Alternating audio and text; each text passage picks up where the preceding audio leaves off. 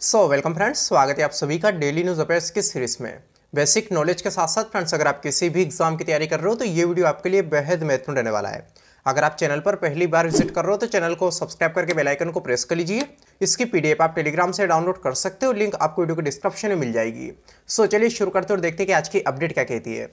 दोस्तों, हम सभी जानते हैं कि प्रधानमंत्री मोदी अमेरिकी दौरे पर थे। उस दौरान उन्होंने अनेक मुद्दों पर जो बाइडेन के साथ चर्चाएँ की है। और इस चर्चा के दौरान अनेक प्रकार की डील्स उनके द्वारा साइन की गई है।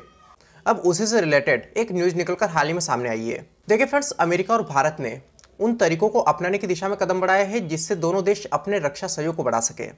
व्हाइट हाउस ने हाल ही में कहा है कि दोनों देश ने पहली बार अमेरिकी कमानों में तीन भारतीय संपर्क अधिकारियों को रखने का समझौता किया है। संपर्क अधिकारी मतलब लियजन ऑफिसर्स।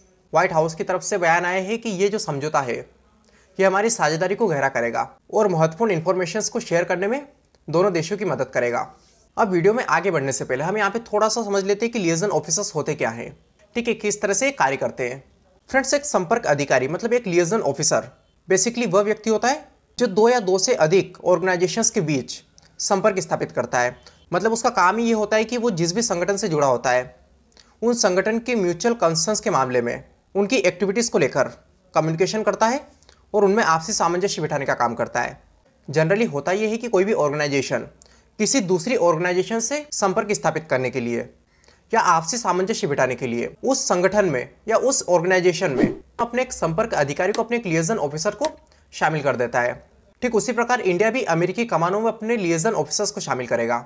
चूँकि हम यहाँ पे बात कर रहे हैं मिलिट्री की, सेना की बात कर रहे हैं तो यहाँ पे हम पहले समझते हैं कि मिलिट्री लियजन ऑफिसर क्या होता है, जिसको हम शॉर्ट में बोलते हैं एमएलओ देखिए फ्रेंड्स सेना में एक लिएजन ऑफिसर ये सेना की यूनिट को कोलेट्रल डैमेज से बचाने के लिए उनकी एक्टिविटीज़ को कोऑर्डिनेट करते हैं।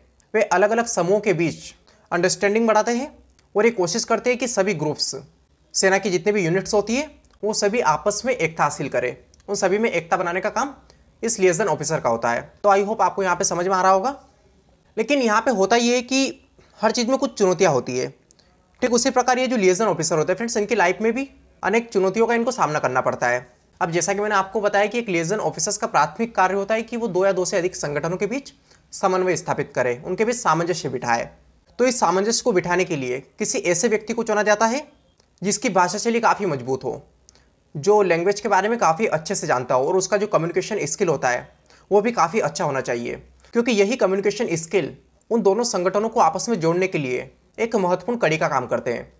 इसलिए कोई भी ऐसा व्यक्ति जो लिएजन ऑफिसर्स के रूप में विदेश में तैनात होता है तो उसको सबसे पहले स्थानीय भाषा में पारंगत होने की आवश्यकता होती है। फ्रेंड्स जैसा कि मैंने आपको बताया कि पीएम मोदी की अमेरिकी विज़िट के दौरान अनेक समझौते हुए हैं।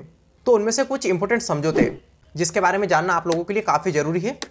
उनमें पहला समझौता है जनरल इलेक्ट्रिक और हिंदुस्तान एरोनोटिक्स लिमिटेड के बीच हुआ जेट इंजन का समझौता।